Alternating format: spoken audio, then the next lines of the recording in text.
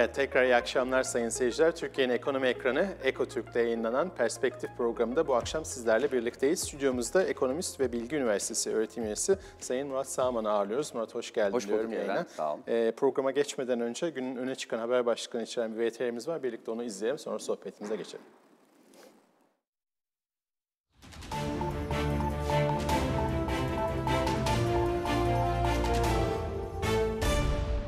Cumhurbaşkanı Recep Tayyip Erdoğan, Birleşik Krallık Başbakanı Johnson'la telefonda görüştü.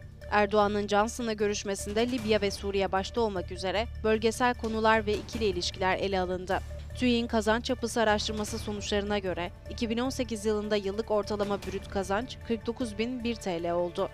Bu değer erkekler için 50.297 TL, kadınlar için 46.200 TL olarak tahmin edildi. En yüksek kazancı yüksek okul ve üstü eğitim düzeyine sahip olanlar elde etti.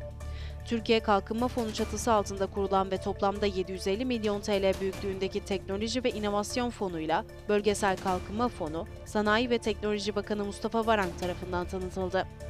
Borsa İstanbul'da BIST 100 endeksi günün ilk yarısında %0,89 artışla 113.170,84 puanı yükselerek 20 ay sonra ilk kez 113 seviyesinin üzerine çıktı. Günün ilk yarısında yükseliş eğiliminde hareket eden BIST 100 endeksi saat 13 itibarıyla önceki kapanışa göre 995,66 puan artarak 113.170,84 puana çıktı. İhracat yapan iş insanlarına verilen hususi damgalı pasaport hakkı süresini 2 yıldan 4 yıla çıkaran düzenleme resmi gazetede yayımlandı. Konuyla ilgili değerlendirmelerde bulunan Türkiye İhracatçılar Meclisi Başkanı İsmail Gülle, küresel ticaretin %75'ine hakim olan ülkelere ihracatımızın kolayca erişebilmesini sağlamak adına yeşil pasaport süresi de 4 yıla uzatıldı. İhracatçılarımız artık bu pazarlarda daha uzun süre iş yapma imkanı bulacak dedi. Dolar yıl sonu talebinin etkisiyle 2 haftanın en yüksek seviyesinden işlem görürken diğer G10 paraları Noel öncesi faaliyetin yavaşlamasıyla bant içerisinde kaldı. Dolar göstergesi pazartesi günü ABD konut satışlarının geçen ay tırmandığını ve dayanıklı mal siparişlerinin düştüğünü gösteren verinin ardından 11 Aralık'tan beri en güçlü seviyeye yakın seviyelerde dalgalandı. G10 paralarında volatilite Ağustos 2014'ten beri en düşük seviyeye gerilemesinin ardından arttı.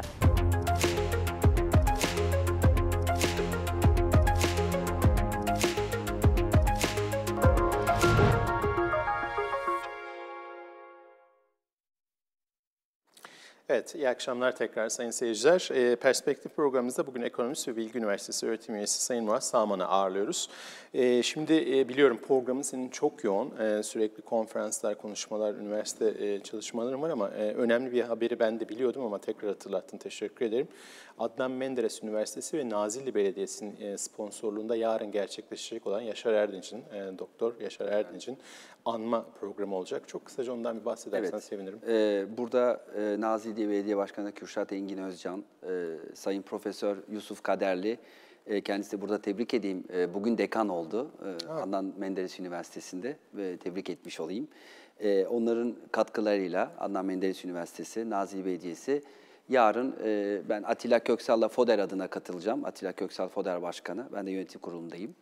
E, Sayın Mert Yılmaz ve Sayın Cüneyt Paksoy'la e, 2020 e, beklentiyle ilgili e, Nazilli Ticaret Odası'nda e, bir konferans e, gerçekleştireceğiz. E, bu konferansın biraz önce senin ifade ettiğin gibi Doktor Yaşar Erdinç, rahmetli Doktor Yaşar Erdinç anısına olacak.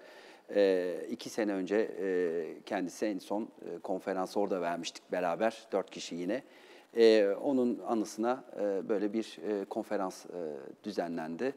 Ee, burada kendisine tekrar rahmetle anıyorum. Genç yaşta kaybettik.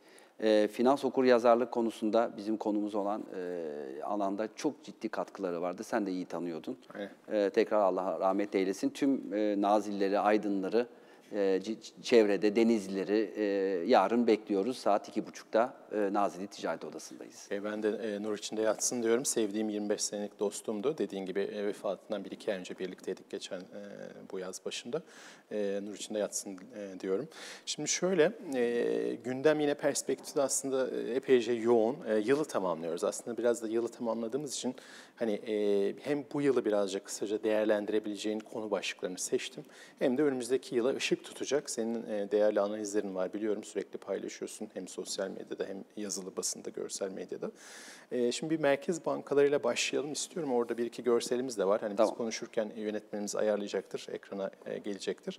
Yani yılı aslında şöyle özetlemek mümkün. Bir kere ticaret savaşından başlayan, e, yani bir buçuk sene, iki seneye yaklaşıyor işte Çin ve Amerika arasında. E, Ama ekonomik tarafta bu ticaret savaşında e, etkisinin olduğu bir yavaşlama var. Bunu birçok kuruluşta zaten dünyada sürekli en çok revizyonun, ekonomik revizyonun aşağı yönlü revizyonu olduğu bir yılı aslında kapatıyoruz. Ben bu kadar sıklıkla aşağı revizyonların olduğunu hatırlamıyorum. Doğru. İmalat sanayi tarafı yani üretim tarafında şu anda da merkez bankalarının mevcut faizleri ve e, aksiyonları e, küresel merkez bankaları ile ilgili. Çok güzel bir e, grafik bu arada. Görselimiz geldi. Araştırma servisi sağ olsun çok güzel hazırladı tebrik bunu. ederim. Bir, bir anda böyle bütün dünyayı görüyorsun. Aynen. Bütün resim burada. Hani ben- Resim sen burada. konuşurken de yardımcı olacaktır bir taraftan. Ben tabii ki haliyle Amerika'dan başlayacağım. E, malum e, Jeremy Powell e, mevcut e, faiz seviyesini şu anda üst sınırını işte 1.75'te e, 2020 içinde en son yapmış olduğu toplantıda faizin değişmeyeceğine yönelik bir beklentiyle e, Amerika'yı aslında dünyanın da biliyorsun para politikalarını belirlediği için e, Merkez Bankası tarafında bir miktar e, repo dolayısıyla parasal gevşeme yapıyor. Bilançoda büyü- büyüyor bir miktar As- aslında büyüdüğünü iddia etmiyor ama yani e, önceki parasal gevşemeler gibi olmadığını bir Amerika Merkez Bankası'nın e, para politikası ve Amerika Amerikan ekonomisini yorumlarsan sevinirim. Oradan başlayalım önce. Bu arada şu şeye dikkatini çeken herhalde çift taneli olan herhalde bir biz varız Evet. bu e, haritada, bu resimde. Önce ABD'den başlayalım Evren. Şimdi üç tane faiz indirdi e, bu sene. Yani şimdi geçen sene şu zamanla dönelim. Tam beklenti hatırlıyorsun. İki ya da üç arttırıldı. Arttırdı. Değil mi? Yani tam bir sene önce. Sonra ocağa yaklaştık.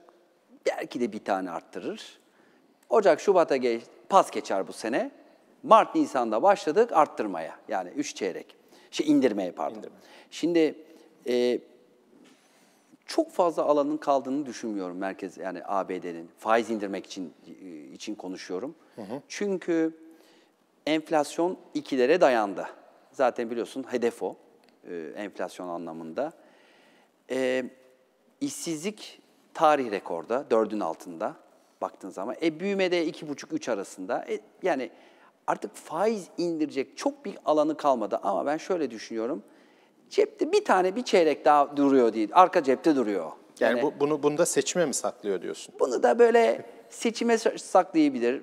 Bir kötüleşme Çok olduğunda Trump böyle sıkıştırırsa mesela ikinci yarının başlarında falan böyle Ağustos, Trump Eylül, devamlı sıkıştırıyor. Eylül, e, şey Ağustos, Eylül, Ekim gibi diyeyim Kasım öncesindeki o 3 ayda orada bir tane indirim yapabilir mi? Ya Evren Trump hep sıkıştıracak. Çünkü Trump biliyorsun e, en son işte vatan haini demişti Jerome Powell'a. Trump sıfır faiz istiyor. Çünkü Trump bakıyor diyor ki bak Japonya'da, Avrupa'da faiz negatif diyor. Sen de indir sıfıra diyor. Senin şimdi ben kainlik yönünü bizzat e, uzun yıllar ortaklık yaptığımız şirket ve e, geçmişinden dolayı Aa, çok bildiğim için e, isabet yüzdenin nasıl bu kadar e, fazla olduğunu sonra ayrıca anlatırsın yayın sonrasında ama e, yani sence mesela bunu sorayım çünkü tam e, bence şeyi uzmanlık ol. alanı olabilecek yine bir tahmin olsun. Tabii ki seni bağlamayacak neticede ama e, Trump sence seçilir mi ikinci kere? Abi ben şimdi bu işte Yale Üniversitesi'nde bir konuşmaya gittim geç işte bir buçuk ay önce. E, Valla oradaki ambiyansı şöyleydi. E, ya şu aziz sürecinden çıkarsa bence kesin seçilecek. Yani ya azledilecek ya seçilecek. Şu andaki baktığın zaman bir tane rakibi var. O da Michael Bloomberg. Yani şeylere Ha, bak. şey değil Joe Biden ya da Değil, e, değil. ha, Joe Elizabeth Biden, Warren. Elizabeth- Warren olmaz. E, Bir kısımdan alır, bir kısımdan almayacak. Biden zor gözüküyor. Yani e, bir iki şeyde okudum. Yani daha çok Michael Bloomberg. O da zaten iş adamı, Trump gibi falan filan. Yani Aslında azil sürecinin bile Trump'a son anketlere yine ben baktım e, e, yaradığı gözüküyor bir taraftan mağduriyet ve oradaki Tabii tabii. gelen- Şu anda iyi bir yani iyi bir şey aziz süreci. Yani onun için iyi bir şey. Biliyorsun yani mağdursan oyların artıyor. Evet. Fakat bunun sonuçlanmaması lazım Evren. Yani şimdi bak aziz süreci şimdi şeyler şeyden geçti. Ee, Sena, temsilciler meclisinden geçti. Senatoya gidecek. Senatoda hayır çünkü cumhuriyetçiler. Ama bak bu Ukrayna, bu TAPI olayları daha da büyürse zaten onu konuşuyorlardı Amerika'da. Yani bu iş biraz daha hani Trump'ın gerçekten sıkıntılı dosyaları falan filan büyürse e, iş şeye bakıyor Evren. 20-25 kişinin fikir değiştirmesine bakıyor. Yani biliyorsun ki Trump sonuçta cumhuriyetçi değil. Yani cumhuriyetten ama Cumhuriyet Parti'den ama sonuçta siyasetten gelen bir e, aday da değil. Ama şunu Trump'ı cumhuriyetçiler indirse çok yakın bir aday koyamazlar kısa sürede. Onun için muhtemelen muhtemelen e, aziz sürecini atlattıktan sonra büyük bir şey gelmezse muhtemelen e, tekrar ikinci dönem seçilecek. Neye geleceğim? Son 100 yıla bak Amerika'da bir başkan tekrar başkanlık yarışına girdiği yıl genellikle iyi bir yıl oluyor. Yani 2020 Amerika için çok mu iyi geçecek diyorsun? iyi geçecek normalde. Çünkü ne oluyor? Bir başkan, tek o aynı başkan ikinci dönem başkanlık adayını koyduğunda piyasaların ve ekonominin gitmesi için her şeyi yapıyor. Esasında bu yıl da e, ha- baktığında yani Amerika için çok kötü falan değil. Yani Gayet şimdi iyi bir yıl ya. %2.1 e, bir büyüme var. Üçüncü çeyrek yıllıklandırılmış. Ve iki buçuğa doğru gidecek gibi Ha, gözüküyor. e, iki nokta yani yüzde ikinin bir, bir tık üstünde. E, e, 50 yılın en düşük e, e, istihdam, İşsizlik. işsizlik oranı. İstihdam tarafında da e, fena gelmiyor rakamlar. E, arada hani grevler vesaire etkiliyor ama ana trende baktığında Yok, istihdam yaratması da fena değil. E, enflasyon tarafında yine bir e, bu saatlik kazançlar gibi bir takım göstergelerde hafif bir kıpırdanma olmakla birlikte yüzde üç, yüzde üç nokta bir, yüzde üç nokta iki falan ama yani öyle çok üç buçuklara, dörtlere giden bir Yok, rakam da yok. E, dolayısıyla borsaları zaten görüyorsun. Tarihi e, en yüksek seviyeleri kırmaya devam ediyor. Nasdaq yüzde e, 35 yaptı. İnanılmaz. E, bu yıl başından itibaren 37 olmuş bu arada 37.38. Dow Jones yüzde 22, e, S&P'de yüzde 28.61. Yani enflasyonun e, yüzde 1.7, e, 1.8 olduğu bir e, ülkede yüzde 35, yüzde 25 falan e, borsa kazançları var. Bu kazandırır işte. Bak şimdi Amerika'da biliyorsun, şimdi Türkiye'de mesela karşılaştırırsan dolaylı işte BES yatırımı ya da fon yatırımı ya da direkt hisse senedi yatırımı toplam gayri safi milli alsan hepsini toplasan %10'u bulmaz. Amerika'da bu oran %65-70'lerde. Yani bir zenginlik etkisi var. Herkes ya dolaylı ya direkt hisse senedinde yatırım yapmış. Şimdi borsalar yukarıya gittikçe Amerikalılar zenginleşiyor. Şimdi mesela e, şeyi de gösterelim yine e, S&P'nin e, uzun vadeli mesela en büyük 10 e, ekonomi içerisindeki hisse senedi borsalarının performansı grafiğimiz var. Yine yönetmenimiz ayarlasın biz konuşurken. Yani geriye dönük bak bakıldığında son 10 yıl içerisinde burada ciddi anlamda bir biliyorsun ikinci 10 yıla giriyoruz sonuçta 2020'den itibaren. Bu S&P 500 mesela %187,5 kazandırmış geçtim. Yani bir numara e, S&P, e, iki numara e, yine şey Hindistan'ın endeksi yüzde 138 e, kazandırmış. Nikkei'yi bu arada yani durgunluk işte şey Durgunluk diyoruz. diyoruz ama yavaş yavaş ama çok düşük bazdan geliyor. Evet evet tabii tabii yani orada 30 yıldır bir sıkıntı var Tabii, ama tabii. Çok e, düşük bazdan geliyor, üçüncü evet. sırada Nikkei var geldi. yüzde 125. Evet. DAX mesela yüzde 121. Yani bunları aslında hani e, şeye bölelim hani e, ona bölelim aşağı yukarı ortalama yıllık yüzde 18-19 kazandıran bir S&P var yüzde 19 kazandıran. İnanılmaz bir Yani e, Nikkei bile yüzde 12, işte DAX e, yüzde 12, e, işte Bovespa mesela yüzde 6.8, e, Kakaran e, yüzde 5 diyelim. Bak aşağı Fransa'ya indikçe bir anda yarı yarıya. Hatta İtalya'ya üçte- bakar mısın? Yani üçte bir. Evet. Yani İnanılmaz. yani burada e, hakikaten e, FTSE mesela yüzde 39. Yani İngiltere, e, Fransa. Orada Brexit vardı falan filan ama Tabii. bak İtalya inanılmaz. Bak aynı bölge, aynı yerdesin. Evet. Ee, Fransa, Almanya, İtalya, İtalya neredeyse sıfır. Evet yani or- orada aslında hiçbir para e, e, sermaye kazancı anlamında son 10 yıl için tabii Hiçbir şey yok. konuşuyoruz. E, bir şey yok. Tabii bir yandan da enflasyon var. A- Aynen enflasyon var. İşte ortalama yüzde bir desen aslında para ya yüzde iki para kaybetmiş. Yani diyorsun ki e, burada hatta bir üçüncü grafiğimiz var. Onu da yine buna ilaveten hazırlar e, yönetmenimiz. Yani bu S&P'nin yine geçtiğimiz e, 10 yıllar boyunca bu arada sadece Geldi. 10 yıl değil yani 1940'tan bu yana bu arada 10'ar yıllık periyotlar halinde nasıl bir performans sağladığını işte %187 dedik ya geçtiğimiz 10 yıl yani 2010-2020 arası. E, ondan önce mesela 2000 e, yılıyla 2010 arası o kadar iyi bir performans yok. Aşağıda şu anda ikinci e, negatif e, şeyde durumda. 90'lı yıllar mesela en iyi olmuş. 90'lı yıllarda Tabii. S&P %300'ün üzerinde kazandırmış 10 yıl boyunca. Özellikle Nasdaq o dönemde biliyorsun patladı ve teknoloji balına getirdi Aynen 2000 bravo, yılında. bravo. Dolayısıyla 80'li yıllarda yani aslında 80'li 90'lı yıllarda Amerikan borsasına yatırım yapan e, 20 yıl içerisinde e, neredeyse %500'ün üzerinde e, para kazanmış oluyor 20 yılda. Valla şimdi bu iş, bu işi patlatacak olan yani bu bu balonu patlatacak kim patlatıyor balonu? Merkez Bankası, Fed. Evet. Ya bu balonu ancak Fed patlatır. Şimdi gelecek sene Kasım 2020'de seçim var dersen Kasım 2020'e kadar Fed çok fazla faiz arttıramaz. Yani Yani suya sabuna dokunmaz diyorsun. Bence yani rahat gider. Yani bir arka cepte bir tane bir 25'lik var. Her an çıkarabilir. Hakem çıkarır ya maçta. Her an bir 25 çıkarabilir. Hani ama faiz arttırımı yılın son böyle son toplantısında bir faiz arttırımı hiç şaşırmam. Bak faiz arttırımı diyorum. Ya kimse bunu söyle. Niye? Seçimden sonra mı hemen? Seçimden hemen sonra Aralık'ta son bir toplantı. Şöyle niye? Ekonomi çok ısınmış olacak.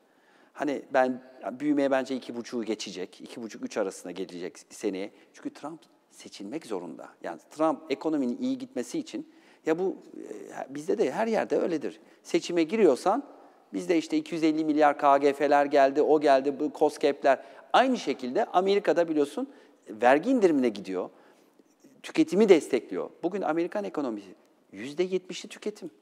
Aynen. Yani 20 trilyon dolarlık ekonominin işte neredeyse 13-14 trilyon dolar evren tüketim. Aynen. Şimdi e, borsalar çok iyi. İşte getirileri verdin. E tüketim geliyor. E şimdi büyürse de ekonomi, işsizlik düşük noktada e, Trump seçilir. Tra- ama seçilene kadar ekonominin ısınma ihtimali olduğu için yıl sonunda ya da gelecek senenin başında ben faiz arttırımının geleceğini görüyorum. O zaman tabii piyasaların artık o bağır adı, biliyorsun o beklenti de bitmiş olacak. Yani Trump seçildi, ikinci dönem, ikinci dönemde sıkıntılı bir dönem olabilir. Ee, çok kolay da olmayacaktır çünkü her yerde sorun var. Çin'de daha sorunu çözmemiş olacak. Orta Doğu'daki problemler, içerideki problemler olmaya başlayacak falan filan. Yani o balon sonuçta bir yerde patlayacak. Ee, Yale'de katıldığım konuşmada, e, o sana gelmiştim o Fed yayında. Şunu ko- Amerikalıların şu anda yani yatırımcıların bir balon patlayacak diye bekliyorlar. Zamanı bu kestir, kestirmeye çalışıyorlar ama biliyorsun finansta zamanı hiçbir zaman kestiremezsin. Ama herhalde bu iş 2021'de e, bir şekilde artık e, merkez faiz arttırmaya başlayınca e, bu iş belli olacak. Yani seneye dediğim gibi bir faiz indirimi belki rahat bir FED, sakin bir FED, yıl sonunda da sürpriz bir faiz arttırımına şahit olabiliriz. Şimdi aslında senin yine önemli uzmanlık alanına girdiğini düşündüğüm için yani Fransa'dan dolayı Avrupa Merkez Bankası'na geçelim. İkinci konu. Yani Christine Lagarde geldi işte çiçeği burnunda Merkez Bankası Başkanı oldu. E, şeyden sonra IMF'den sonra. Müthiş yani. E, bu, arada Fran- biliyorsun hem Fed'in hem iyisi şey, Evet. e, hukukçu yani. Aynen. Hukukçular şu anda Merkez Evet. Bankası yani Başkanı. fin- finansçılara demek ki hukuk e, yüksek lisansı da iyi olabilir. Bilmiyorum olabiliyor mu orada ama e, yani onu alttan lisanstan mı almak gerekiyor. E, şöyle bir şey yani mevcut faiz seviyesi eksi biliyorsun. Eksi 0.5. E, 2020 sonu içinde yine eksi 0.5 bekleniyor. Yani orada çok bir, Bir farklılık yok. Sadece e, Christine Lagarde'da Draghi'den herhalde aldığı şeyle birlikte ihtiyaç duyuldu biliyorsun. O ne gerekirse yaparız demişti Draghi'nin ana şeyi. o biraz daha yumuşak. Yani. Ha, e, şimdi de şeyde e, Christine Lagarde da diyor ki teşvikler eğer gerekecek olursa yaparız. Yani bu taahhütte bulundu sonuçta. E, ama tabii yavaşlıyor. Yani ekonomi her ne kadar Almanya işte hani bu teknik resesyon tabiri de söyleniyor ya e, teknik faal gibi dediğin futboldaki.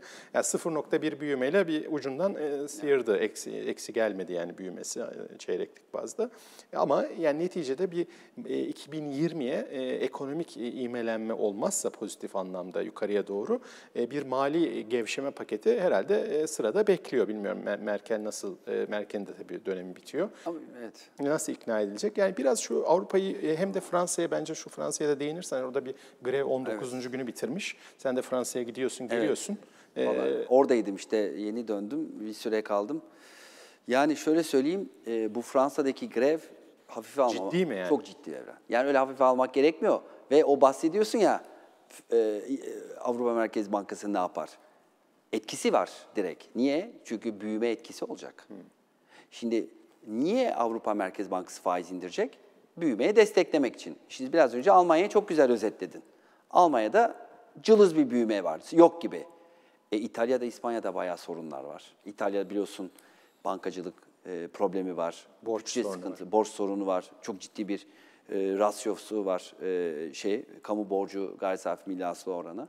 İspanya'da bir türlü istediği yere gelemiyor. Orada da bir sürü sorunlar oldu biliyorsun. Ya peki bu grevin Fransa tarafındaki ana sebebi şey mi yine? Bu sarı yelek hikayesi mi? Değil, o 62'den başka bir şey. 64'e çıkan şey mi? O başka bir şey. Ee, yaş bu- yani emekli. Yaş. Ha onu diyeceğim. Şimdi 50 50 gibi 50 tane gibi bir farklı rejim var. Emekli rejim var. Macron dedi ki bir ben bunu tek hale getiriyorum, 64'e çekiyorum. Şimdi o kadar imtiyazlı şeyler var ki 1950'den beri Fransa'da. Onlar da kabullenmedi. Özellikle işte bu metrolarda çalışanlar e, trenlerde işte e, greve gitmeye başladılar. Şimdi bak Fransa'da esnafların, mağazaların toplam yılda yaptığı cironun neredeyse üçte birini Aralık ayında yapıyor. Müthiş ve vuracak şu anda. İnanılmaz vuracak. Ben böyle bir piyasaya kokladığım birkaç kişiyle konuştum. Ee, batacak bir sürü esnaf var. Batıyorlar yani. Çünkü e, dayanamıyorlar. Şöyle bir şey söyleyeyim. Satış yok. Özellikle mesela Şanzelize civarında çok lüks, çok ciddi kiralar var. Cirolar yarı yarıya inmiş. E, insanlar gidemiyor ki. Yani bir mağazaya gidip alışveriş yapman için o mağazaya gidebilmen lazım. Gidemiyorsun Evren. 14 tane hat var, metro hattı var. Çalışmıyor. 12'si çalışmıyor. Tamamen çalışmıyor. Bir galiba onun sen örneğini söyledin yapay Ben zeka. Twitter'da da paylaştım. Orada bayağı 1 ile 14. hat, birinci hat ya da 14. hat çalışıyor. Onlar da yapay zeka. Orada da kondüktör yok. Onun için çalışıyor. Yani şimdi bugün sabah e, bir robotik ve yapay zeka konferansına katıldım. E, böyle gerçekten iş acayip yerlere gidiyor. İşte 2,5 milyon robot varmış dünyada. 10-20 sene sonra hani bu iş bambaşka bir yere gidecek. Hani orada gözünle görüyorsun. Ve ben gittim metroyu inceledim. Gerçekten şey yok. Ya Fransa'da ama e, bu dediğin senin e, ya daha da genelleş yani yaygınlaşırsa robot anlamında söylüyorum ya Macron duramaz orada Fransızlar dayanamazlar bu kadar robota. Ben şunu söyleyeyim, Macron çok büyük hata yaptı. Hayatının en büyük hatasını yaptı. Niye söyleyeyim? Bunu hemen böyle yıl başından önce, çünkü biliyorsun Avrupalılar için Noel çok önemlidir. Ciddi ciddi, hatta bizde böyle izleyenler şey yapar, anımsar böyle yabancı futbolcular biliyorsun, tam Noel tatilinden önce özellikle kırmızı kart, sarı kart, kırmızı kart alır tatile gidebilmek için. Hani çok önemlidir de Noel. Şimdi tam Noel öncesi böyle bir şey yapması bütün esnafı vurdu. Evet destekleyenler var ama zamanlaması bence iyi olmadı ve bunu birden eee, şey yapmadan, ortaya ot- oturup konuşmadan bunu birden geçmeye çalıştı. Eee, onun için bence çok büyük şey eee, kaybı oldu. Ben sana bir tahmin daha yapayım. Onu hatırla. Bence Macron e, ikinci dönemde aday olmayacak. Aday olsa da seçilemeyecek. O ben net ciddi görüyorum onu. Efendim? O kadar ciddi olay yani. Bence o kadar ciddi. Yani şey çok düşmüş durumda. Ee, aday olacağını, Fransa Hollande gibi olma ihtimali var. Ee, Fransa'da ikinci olabilir. Yani Fransa'da başkanlık yapmış, ikinci aday, ikinci kez aday olmamış sadece Fransa Hollande var. Hepsi diğerleri hepsi oldu. Büyük ihtimalle Macron ikinci olacak. Aday olursa da kazan, yani şöyle aday olup da kazanamayacaksa aday olmaz. François Hollande onu gördü, onun için e, aday olmadı ve biliyorsun Macron öyle seçildi. Onun için Fransa'daki grev çok önemli, sürme ihtimali var. Bir ara verme ihtimalleri vardı tam Noel haftasına ama e, bence o işi e, çözmeleri gerekiyor. Çok da kolay değil. Çünkü biz e, adımı geri atmayacağız diyor e, grev yapanlar hükümetten ufak bir şey geldi. Biz bunu, biz de geri adım atmayacağız dedi ama birazcık revize edebiliriz dedi. Ee, bunun süresi önemli. Sarı yelekler başka bir şey. O artık e, geleneksel oldu. O her hafta, O başka, cumartesi. ha, o başka bir olaya O- evrildi yani O, artık. o, o başka bir şey. Bu şimdi emeklileri ilgilendiriyor. Ve dediğim gibi bütün o senin sorduğun sorunun cevabı e, Avrupa'nın 2020'de toparlanması neredeyse imkansız. Ee, bir üçüncüsü aslında yine Avrupa'yı etkileyecek konu İngiltere haliyle. bir İngiltere o var. Merkez Bankası. Şimdi e, McCartney biliyorsun e, görev sonu e, bitiyor artık. Yani 2020'de yeni e, başkanına İngiltere kavuşuyor. E, gösterge faiz 0.75'te e, haliyle. E, ama önemli bir şey var. Boris Johnson e, bir e, şey oynadı. E, siyasi bir rulet ve kazandı, Kazandı. aslında. E, ve bunun da e, seremesini alacak tabii ki. E, Ocak sonunda da bildiğimizi söylüyorum. 31 Ocak itibariyle de Brexit'in hayata geçmesi e, planlanıyor. Yani Ocak ayı hareketli olacak İngiltere için. E, şimdi ama tabii burada e, yani 31 Ocak sonrasında da e, şeyin e, Andrew Bailey e, geliyor biliyorsun. Şeyin e, Kanadalı e, Carney'in e, ardından 16 Mart'ta e, göreve başlayacak. Küresel e, yavaşlama var bir taraftan, bir taraftan da yatırım sıkıntısı var İngiltere üzerinde. Yani e, İngiltere e, ekonomisini nasıl görüyorsun? Çünkü orada Brexit tarafından dolayı da bir sıkıntı yaşayacağı açık. Valla işte İngiltere ile de ilgileniyoruz. Hatta oraya da gidip geliyoruz ama şöyle e, Evren o iş çok kolay kolay olmayacak. Yani e, 31 Ocak'tan sonra ben de artık Brexit kesin yani artık uzamayacak. Sonuçta hem seçimi kazandı hem parlamentoda onayı aldı. Çok kolay olmayacaktır. Niye biliyor musun?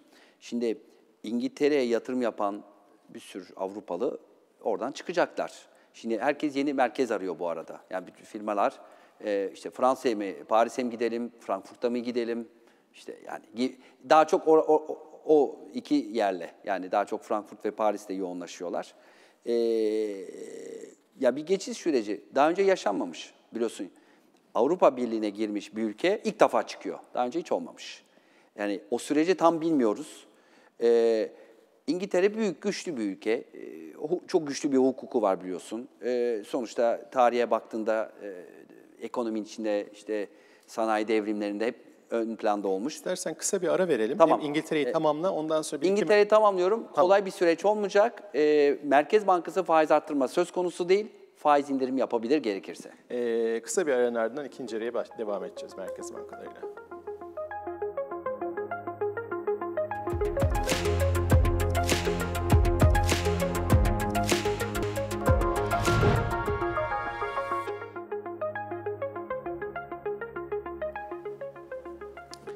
Evet, tekrar iyi akşamlar sayın seyirciler. Türkiye'nin ekonomi ekranı Ekotürk'te yayınlanan Perspektif programının ikinci yarısında sizlerle birlikteyiz. E, stüdyomuzda Ekonomist ve Bilgi Üniversitesi öğretim üyesi Sayın Murat Sağman'ı ağırlıyoruz. Ancak şimdi bir yurt dışına bağlanacağız. Amerika'ya e, Profesör Doktor Sayın Sencer Ecer var. İTÜ Tek- e, Ekonomi Bölümü öğretim üyesi. Hocam merhabalar. Merhaba. Ee, Şimdi birkaç konu var aslında sizin e, görüşlerinizi almak istediğimiz. E, Ben hemen hızlıca e, kendisine e, soruları okuyayım. Siz değerlendirmenizi yaparsanız sevinirim. Bir Amerika'nın Türkiye'ye yaptırım içeren savunma bütçesi e, Senato'da kabul edildi bildiğimiz. E, Şimdi bu e, önümüzdeki dönemde yine Türkiye ve Amerika ilişkilerini ekonomik anlamda tabii Türkiye tarafını etkilediği için nasıl değerlendiriyorsunuz? Bir bu görüşünüzü almak istiyorum bu konuyla ilgili. Bir de en son gelen yine Amerikan e, basınında çıktı aslında bu konu. Amerika'da Donald Trump'ın e, Senato Dış İlişkiler Komitesi'nden geçen ve genel kurulda görüşecek Türkiye yaptırım tasarısıyla ilgili bir mücadele verdiğine dair bir görüşler var basında tabii çıkan haberler. E, bu konuyu değerlendirirseniz son olarak da Amerikan ekonomisini 2019 ve 2020'ye e, geçişini nasıl değerlendiriyorsunuz? Çünkü borsalar yeni yüksekleri yapmaya devam ediyor Amerika'da. Ee, evet tamam hızlıca geçeyim. Şimdi birincisi e, o e, savunma bakanlığı ile ilgili olan bütçe yasası zaten Trump'ın çok önceden beri istediği, takip ettiği bir yasaydı ve orada Türkiye ile ilgili maddelerin sayısı çok fazla değil benim görebildiğim kadarıyla. Orada esas olan e, Trump'ın ve e, partisinin istediği e, savunma harcamalarının geçmesiydi. O geçmiş ol- oldu. Pardon. E, Oradaki e, bir iki madde Türkiye ile ilgili olarak F-35'lerle ilgili, onların Türkiye'ye teslimiyle ilgili, işte S-400'ler e, kullanılmazsa, geri verilirse, sistemden çıkarılırsa bu e, yaptırım kaldırılabilir şeklinde. Yalnız bugün basına yansıyan e, başka bir e, yasa tasarısı. Orada çok fazla yaptırım maddesi var. Tabii bunlardan üç veya en az üçünü e, seçmek durumunda Trump eğer yasa bu şekilde geçerse. Ee, orada birçok e, madde var. Bu maddeler tabii çok detaylı, detaylandırılabilir. İşte önemlileri arasında e, Exim Bank'ın e, e, Türk Türkiye'den e, ihracat yapacakları olan destekleri veya yardımlarının olmaması gibi. Veya belki daha önemlisi Türkiye'nin hem e, uluslararası finansal kurumlar mesela IMF gibi vesaire oralardan alacağı borçlara karşı Amerika'nın e, itiraz etme hakkını kullanması veya uluslararası Amerikan bankalarının uluslararası kredilerinin Türkiye'ye verilmemesi gibi maddeler var. Bunlar biraz daha geniş kapsamlı ve bana sanki şey gibi geldi yani ilk aşamada bir e, nasıl diyelim bir pazarlığın ön e, ön e, çalışmaları gibi geldi.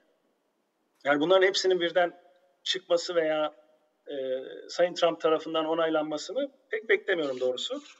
E, burada başka Halkbank'la ilgili maddeler var.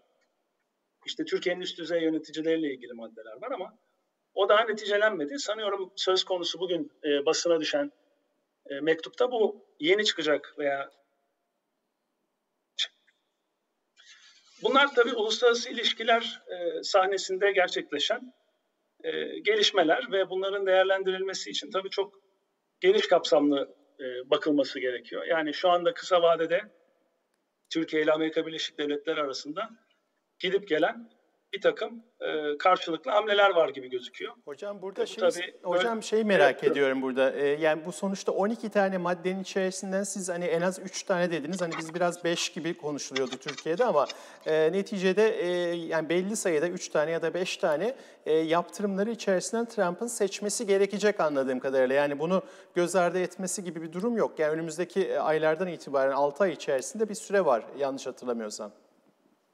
E, evet süreler e, ne zaman başlayacağı tam kesin değil.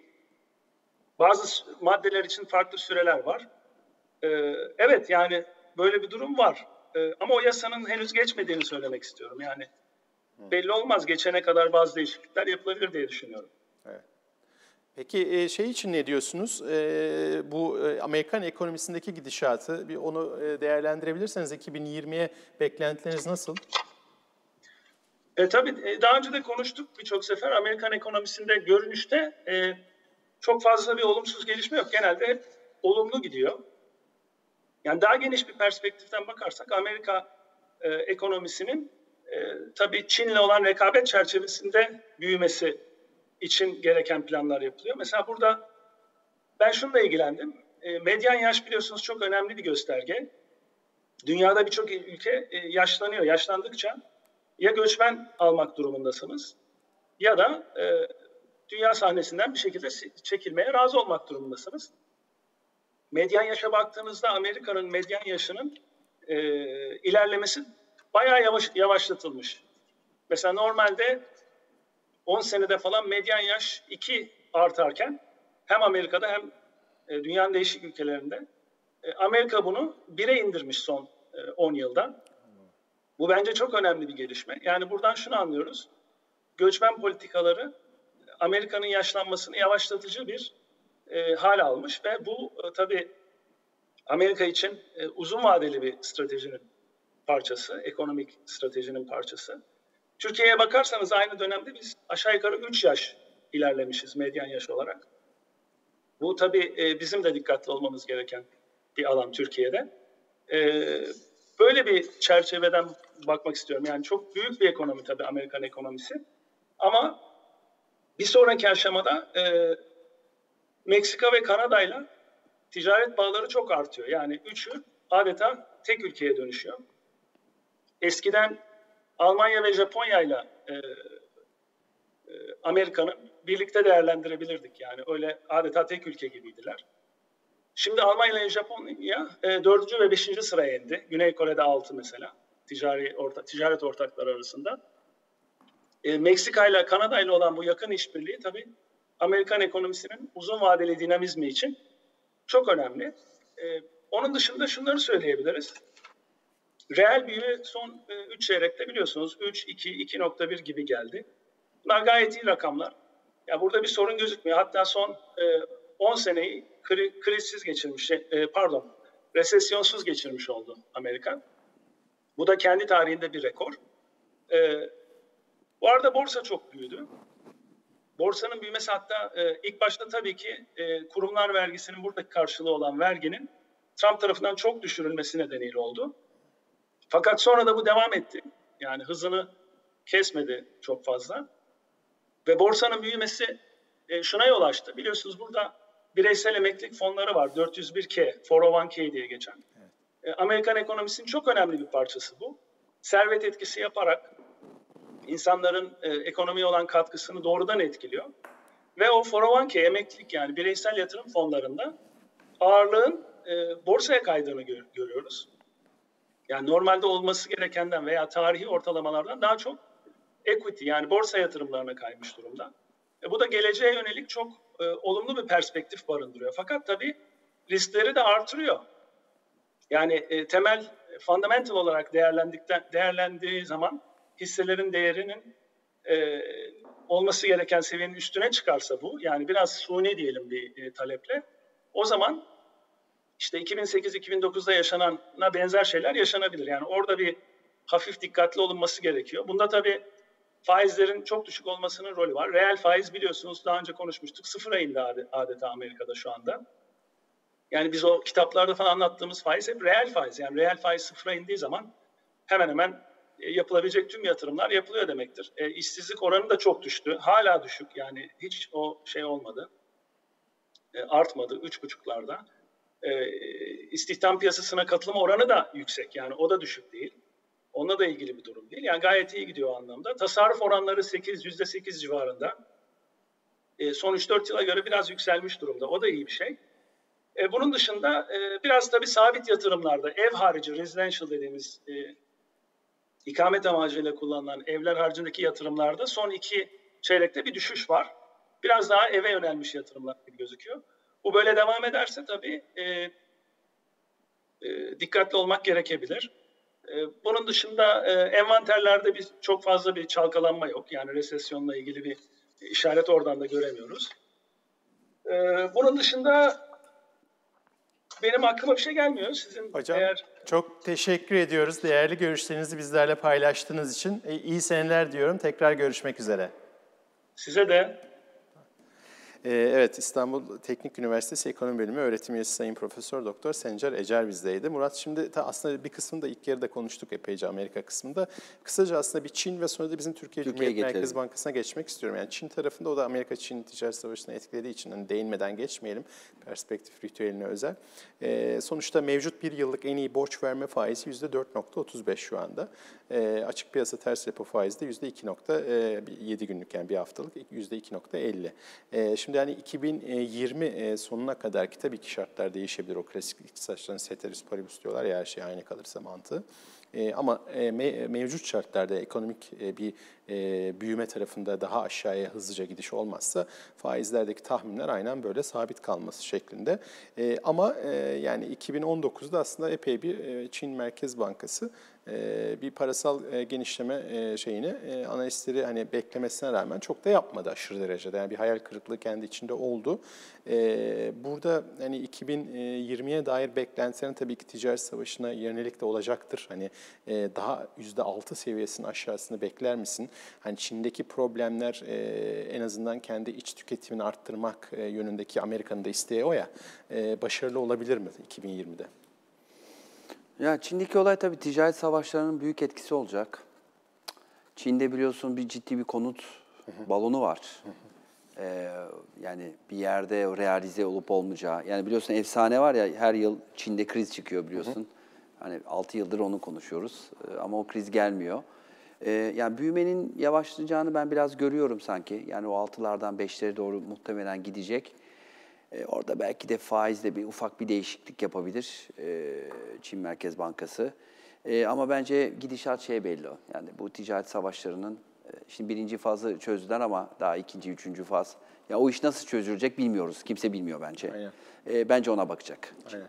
E, şimdi aslında Türkiye Cumhuriyet Merkez Bankası'na geçelim bir taraftan. E, şöyle ki... Bizimki daha kolay. Ya. Bizim faiz indirdiği için e, yani iç, çok da zor değil iç, bizim taraf. İç piyasaya geri dönelim biraz da. E, şimdi Murat Uysal döneminde tabii e, hakikaten hızlıca bir önden yüklemeli faiz indirimleriyle e, %12 yarı yarıya indirdi. Yani %24'ten %12'ye çekti. E, 2020 yıl sonu tahmini yine e, genel olarak konuşuyorum. Tabii değişiyor kurumlardan. Yani e, 100 bas puandan ben 300 bas puana kadar e, Bütün yıl için. 2020'nin tamamı Tamam için yüzde bir ila yüzde üç Evet. arasında bir e, faiz aralığı, indirim aralığı görüyorum. E, raporlardan ve açıklamalarından. E, ne bekliyorsun? Burada bizim Türkiye Cumhuriyet Merkez Bankası'nın öngörüleri, piyasa öngörüleri biraz daha değişik enflasyon tarafında özellikle. E, işte 8,5 yeni e, ekonomik şey var biliyorsun İEP'te. E, işte e, o bir yıllık diyelim hadi. Bir yıllık beklentilerde %10'un biraz üstünde. E, ama Merkez Bankası reel faizde e, hani mevduat tarafını hiç konuşmuyorum. Orada negatif çünkü. İşte. E, ama hani mevduat harici de diyelim hani tahvil tarafına falan da bakıyor olsan çok ufak e, yaklaşık işte yüzde e, bir e, civarında diyebileceğimiz maksimum e, bir reel faiz kaldı elde.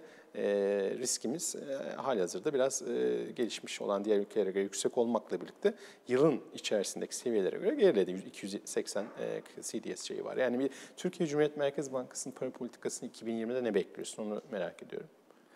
Şimdi ne olması gerektiğini önce söyleyeyim, sonra ne yapacağını söyleyeyim. Yani şimdi ne olması Ne gerektiğini... olması gerektiğini önce Yani ne olması gerektiğini, yani normal baktığın zaman şimdi bugün e, Türkiye'deki be- enflasyon beklentileri nedir? Yıl sonu aşağı yukarı beklenti 11-12 arası. 11,5 falan. 11,5. Şimdi bir ülkenin faizi nedir? Yani çok basit kitaptan ne- nedir? Hani onu, o ülkenin enflasyon beklentisine artı ülkenin risk primidir. Evet. O risk primi de ne olur? 0 da olur, 2 de olur, 5 olur. Hani 5 çok yüksek ama 0,1 de çok düşük. Bizim gibi kırılgan bir ülke için. Yani sermaye ihtiyacı olan bir ülke için. Bizimki de 2 falandır. Ha CDS'e bakarsan 3. Ama ben şeye bakıyorum. 3 bizim CDS, 300 bas puan. Bize benzerler 100 bas puan. Hadi 200 bas puan diyelim. Yani biz 200'e doğru gideriz. O da e- iyi, en iyi senaryo diyorsun. İyi en az senaryo ama zaten olması gereken evren. Yani bizim sepette olanlar işte Güney Afrika, Brezilya, Endonezya. Evet ama oradaki enflasyon oranları daha düşük işte. Tabii tabii Yani ama başka ama üç katı fark olmamalı. Evet. Yani bizde başka bir şey var. Yani bizim bu fiyatlanan CDS enflasyon büyüme falan Değil, değil, ona başka bir şey edici fiyatlanıyor. problemler. Siyaset Tabii, fiyatlanıyor, belki de politika, yeni tabii. sistemin getir her şey Evet, evet, fiyatlanıyor. hepsi içinde. E, hukuk fiyatlanıyor, demokrasi, Tabii, özgürlük her şey var onun içinde. Kesinlikle. Şimdi bence bizim 150 arasında olmamız lazım. 300'deyiz, 200'e hızla gelmemiz En azından lazım. iniyoruz ama 270 280'e 280'e geldik. geldik yani. Şimdi biliyorsun e, Mayıs 2013'te kaçı görmüştük? Evet, Var mısın? evet. 115. Aynen. Yani 115'ten 500'lere çıktık, şimdi Ama 280'lere o zaman da geldik. faiz 4.65'ti e, gösterge. Enflasyonda 5'ti. Evet. 5'e, 5,5. buçuk falandı. Şimdi bugünkü tabloya baktığında Merkez Bankası ne yapmalı dersen hesapladık. İşte 10 artı 2, 12. 12'deyiz zaten. Hani eğer biz enflasyonu gerçekten uzun vadeli düşürmemiz gerekiyorsa 16 Ocak'ta merkezin çıkıp arkadaşlar artık faiz indirimi bitmiştir. Ben enflasyonun kalıcı düşüşüne kadar faiz indirmeyeceğim. Enflasyon kalıcı düştükten sonra ben bu faizi indireceğim. Yani e, sıkı para politikası, fiyat istikrarının devamını açıklayacak. Şimdi ne olacağını söyleyeyim. E, biliyorsunuz siyasetin e, bir ciddi bir baskısı var. Sayın Cumhurbaşkanları faizleri tek haneli istiyor. Muhtemelen Merkez Bankası Ocak'ta faiz indirecek. E, 50 bas puan ile 100 bas puan arasında bir şey olacak bu ihtimalle. E, ve seneye herhalde faizleri tek haneli göreceğiz gibi gözüküyor. Yani en az bir 250 bas puan. Çünkü Yani enflasyonu görmeden mi? Çünkü enflasyonda herhalde e, Mayıs'a kadar diyeyim hadi Nisan-Mayıs. Yani beş ay- Enflasyonu gördükten sonra olur inşallah. Ama dediğim gibi yani olması gerekenleri dedik. Yani şimdi o- ne olacağına biz karar vermiyoruz. hı. Ee, onun için yani e, merkez de tek başına karar faizin vermiyor. tek haneye inme riski var diyorsun. Olabilir. Yani şu anda negatif reel faizdeyiz. Evet, evet. Yani bak e, enflasyon yani enflasyon kalıcı inmeden biz faizleri 12'ye indirdik. Şimdi bak ben e, baştaki yani şu andaki indirimlere kadar okeyim. Zaten beklentilerim gibi geldi ama hani bundan sonrası artık hani ciddi riskli olmaya başladı. Yani dolarizasyonu arttırır. E şimdi e, 195 milyar dolar bir e, döviz tevdiat hesabı var. E, TL faizi bitirirsen insanlar dövize kayacaktır muhtemelen. Ya da elindeki döviz dövizde olanların TL'ye geçmeyecektir. Bir de dediğim gibi e, çok fazla faiz indirirsen ekonomiyi de ısındıracaksın. Yani tüketimi tekrar arttıracaksın. tekrar ithalat başlayacak falan filan. Yani bizim e, kısa vadeli değil artık uzun vadeli çözüme gitmemiz lazım. Uzun vadeli çözümde benim gördüğüm, yani benim bildiğim, e, öğrendiklerim kalıcı bir şekilde önce enflasyonu düşüreceksin. Bak rahmetli oldu Volcker. Yani şey icat, bir şey icat etmen gerekmiyor. Brezilya ne yaptı? Rusya ne yaptı son yıllarda? 1980'de Amerika'da ne yaptı Volcker? Biliyorsun enflasyon 13 iken adam gitti 16-17'de faizi çekti. Enflasyonun belini kırdı. Enflasyon 13'lerden biliyorsun tek haneliğe geldi. Sonra da yavaş yavaş faiz indirdi. Şimdi şey tartışıyoruz Amerika'da. 1.75 mi, 1.50 mi, 2 mi?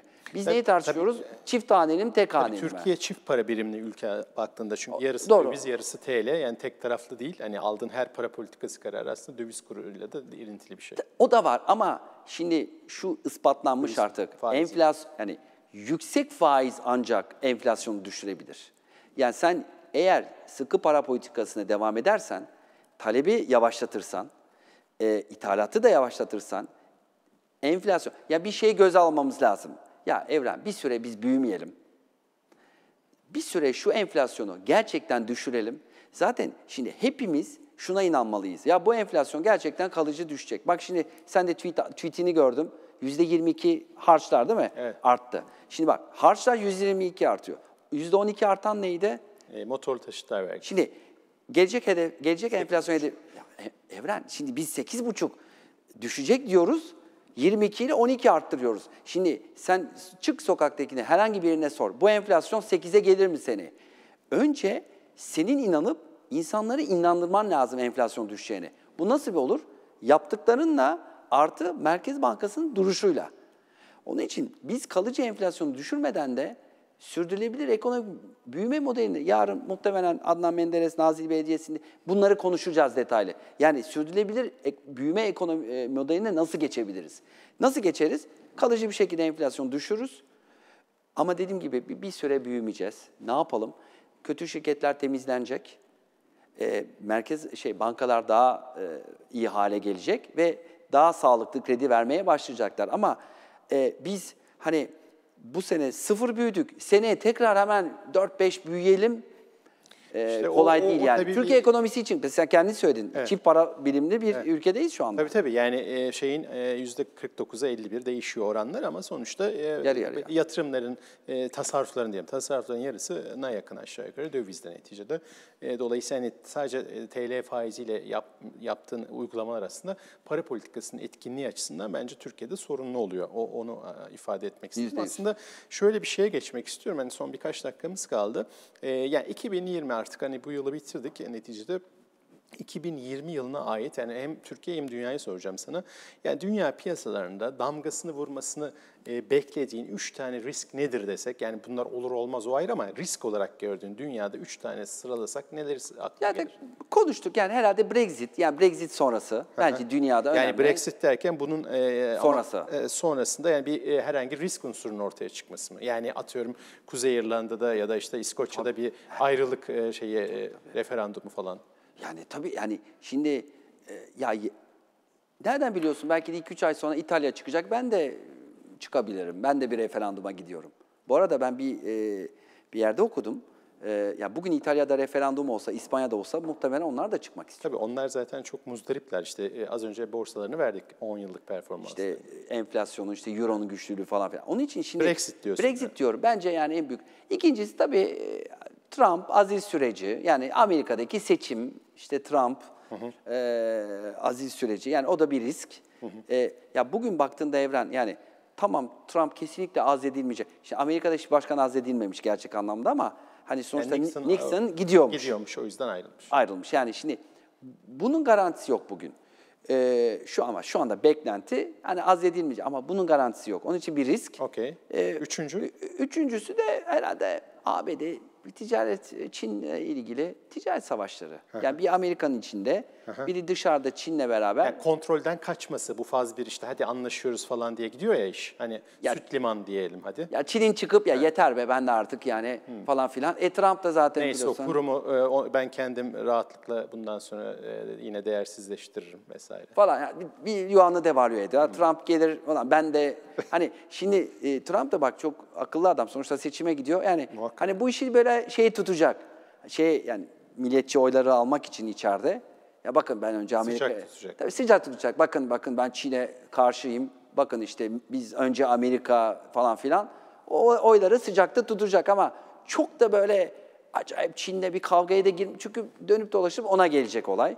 Onun için onu sıcak tutacak. Benim üç tane riskim Peki bunlar. şey dü- dünyanın dışında şimdi Türkiye'ye geldiğimizde mesela 2020'de Türkiye'yi hani e, bekle Türk finans piyasası, ek- ekonomi piyasalarına hani önemli ölçüde etki etmesini beklediğin üç risk unsuru nedir? Birincisi biraz önce konuştuğumuz Merkez Bankası'nın e, yani e, çok artık faiz indirmesi yani faiz riski artık diyeyim. Çünkü bütün den- dengeleri değiştirebilir. Yani bu mesela 300 bas puan indirmesi 2020'de bir risk midir? %9'a Ee, çok çek- hızlı indirmesi risk. Yani yayarsa eğer, He. yani yavaş yavaş giderse e, ya da dediğim Tabii gibi bir kereden 300 yapamaz da hani 100 100 100 ya indirse. ilk çeyrekte indirse risk tabii. Ha, o şey. İlk çeyrekte indirse risk. Çünkü enflasyonun aşağı yukarı hani tek haneliğe kalıcı düşmesi beklentisi genellikle Niya- Nisan Mayıs'tan sonra olacak. Demek ki Nisan Mayıs'a kadar yani böyle hani bence indirmesin. Yani indirmemeli diye düşünüyorum. İndirirse Bu arada 25, hani 25. ben e, şeyde bazen diyorlar ya faiz ya bence faiz bence de sıfır olsun. Ben yani yani faiz olmasın ama yani bak Japonya'nın halini görüyorsun. Faizde sıfır adamlar 30 yılda. Şöyle söyleyeyim. Eto- ekonomik dengelere göre faizin oluşması lazım. Okey. Bugünkü ekonomik dengelerde faiz buralarda. Belki de bir biraz bir tık altında. Yani enflasyona göre senin de az önce dediğin artı Enko- 2, 2 ekonomik gibi, dengelerini iki, sağlaması %2 lazım. gibi bir reel faizin korunuyor olması gibi bir şey. Evet yani iki civarında olması lazım. Bizim şu andaki durumumuzda Merkez Bankası dedik Evet, risk ikinci- olarak. ikinci. Valla yeni partiler kuruluyor. İki tane parti yani bir tanesi kuruldu, Evet. ikincisi geliyor. Ocak'ta. Ay, siyaset diyeyim. Yani siyasetin tekrar e, sıcak hale gelmesi. siyasi risk. Siyaset riski. si- hı. siyasetin tekrar sıcak e, bir yere gelmesi. Yani o seçim, ısınması. erken seçim, erken seçim olur olmaz. başlaması falan gibi. İşte ne bileyim e, son çeyrekte erken seçim olacak olmayacak falan filan. E, o konuşmalar, o siyasetin ısınması. Üçüncüsü de tabii ki yani herhalde herkesin tahmin edeceği gibi ABD ile olan yaptırım e, riski.